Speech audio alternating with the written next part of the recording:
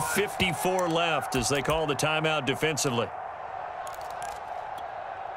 One score down. Here we go. They're going to go for it here on fourth down. Now Murray's got to have this one.